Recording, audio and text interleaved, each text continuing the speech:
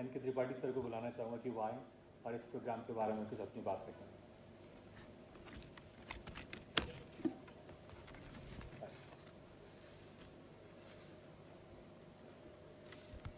आज के इस कार्यक्रम के मुख्य अतिथि परम आदरणीय उच्च शिक्षा मंत्री श्री मोहन यादव जी, मंच पर उपस्थित शिक्षा क्षेत्र के मूर्धन्य विभूतियाँ और सभी हमारे उपस्थित भाइयों, बहनों।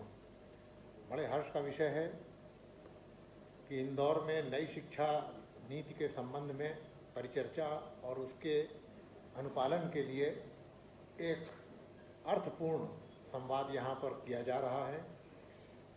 अधिक व्यवधान न डालते हुए, क्योंकि हमको सीधे विषय पर आना है, मैं केवल इतना बताना चाहूँगा, हमें इस बात का गर्व है कि मध्य प्रदेश उन अग्रणी राज्यों में है जिन्होंने नई शिक्षा नीति को सर्वप्रथम इसी वर्ष सत्र से ही प्रारंभ करने का निर्णय लिया है।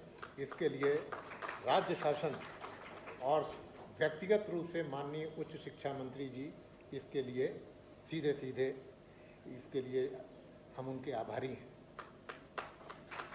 अभी कुछ ही दिनों पहले भोपाल के ऐतिहासिक मिंटो हॉल में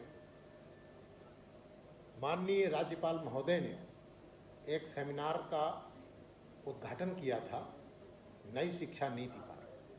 और वो सेमिनार केवल औपचारिक सेमिनार नहीं था, उसमें गहन मंथन भी हुआ, बिंदुवार गंथन, मंथन हुआ और शासन द्वारा क्या निर्णय लिए जा रहे हैं और क्या शासन को क्या निर्णय भविष्य में लेने चाहिए, इन दोनों पर खुलकर परिचर्चा हुई।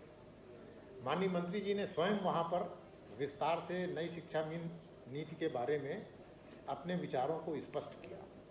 और अपने विचारों को स्पष्ट करने के साथ साथ नई शिक्षा नीति को भी स्पष्ट किया। राजीव गांधी के समय में आई हुई पुरानी शिक्षा नीति जिसमें केवल शिक्षा के विस्तार की बात थी, उसको हटाकर अब जो नई शिक्षा नीति आई है, वर्तमान केंद्रीय सरकार के नेतृत्व में, उसमें गुणवत्ता पर विशेष ज़ोर दिया गया है। शिक्षा से दो ही लोग जुड़े रहते हैं, या तो छात्र, उसका भी विकास आवश्यक है, अथवा समाज, जिसको वो कुछ देने की स्थिति में रहता है। नई शिक्षा नीति पर अभी आपके सामने सब लोग बताएँगे। नई शिक्षा नीति में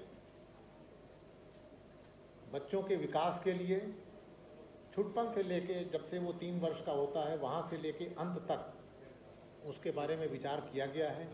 विशेष रूप से उच्च शिक्षा में, मैं स्कूली शिक्षा पे नहीं जाना चाहता, उच्च शिक्षा में जो फ्लेक्सिबिलिटी दी गई है एंट्री एग्जिट की जो चॉइस दी गई है क्रेडिट सिस्टम को कहीं भी ले जाकर उसको, उसका शिक्षा के क्षेत्र में प्रयोग किया जा सकता है। जिस प्रकार से ऑप्शनल सब्जेक्ट्स के लिए एक बड़ा विस्तृत क्षेत्र खोला गया है।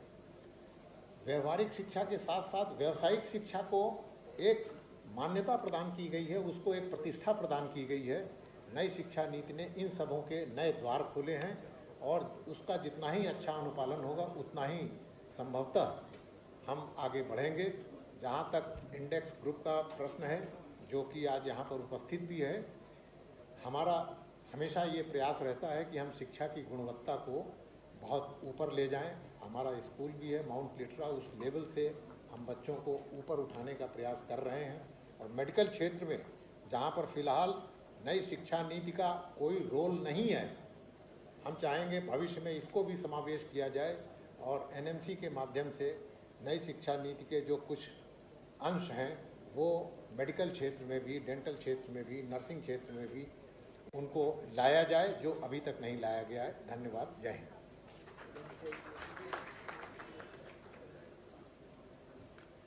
Thank you sir thank you very much sir अब मैं बुलाना चाहूँगा श्री कृष्णा यूनिवर्सिटी छतरपुर एमपी के chairman doctor Pushpendra Singh Gautam sir को।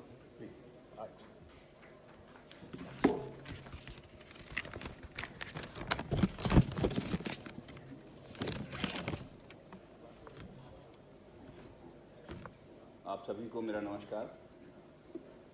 मंचा सिंह आज के कार्यक्रम के मुख्य अतिथि हमारे प्रदेश के ऊर्जावान उच्च शिक्षा मंत्री आदरणीय मोहन यादव जी भाई साहब मंचासीन विक्रम विश्वविद्यालय के कुलपति परमादरणीय अखिलेश पांडे जी भाई साहब और इंडेक्स ग्रुप के चेयरमैन सुरेश भदौरिया जी भाई साहब तथा मंच में विराजमान सभी अतिथि महोदय, सभा में उपस्थित समस्त शिक्षाविद, सभी को मेरा नमस्कार। मैं धन्यवाद देना चाहूँगा स्वदेश न्यूज़ ग्रुप को जिसने इतना बढ़िया कार्यक्रम आयोजित किया और सभी को एक मंच प्रदान कर भारत देश के सबसे नवाचार जो हुआ है, नई शिक्षा नीति 2020 उस पर एक कॉन्क्लेव का कार्यक्रम रखा। इस कार्यक्रम के माध्यम से हम निश्चित रूप से नई शिक्षा नीति के बिंदुओं को या नई शिक्षा नीति की गहराइयों को समझेंगे और जो उसमें आने वाली कठिनाइयाँ हैं या उसकी जो अच्छाइयाँ हैं, उनको विस्तृत रूप से चर्चा करेंगे। अभी कुछ दिन पूर्व ही माननीय उच्च शिक्षा मंत्री महोदय के प्रयासों से